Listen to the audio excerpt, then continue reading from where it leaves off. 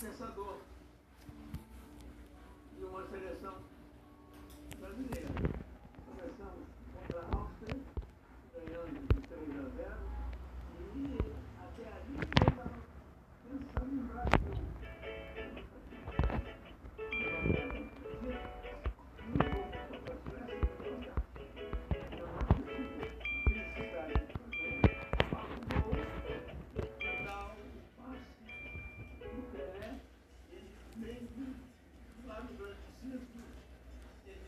Selou, eu lá da ponta esquerda, fiz centro e ele fez dentro do gol.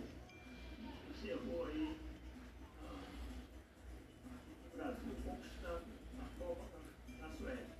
Zagallo ainda foi vice-campeão mundial na Copa de 62 no Chile como jogador e em 94 tetra como assistente técnico do time que venceu a Copa dos Estados Unidos.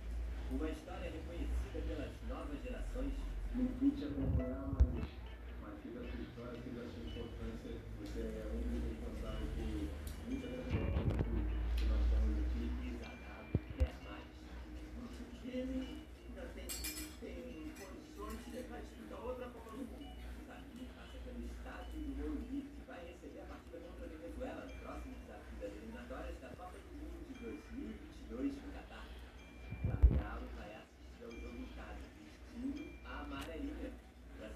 mais participou da confecção transformou um toque em uma lenda.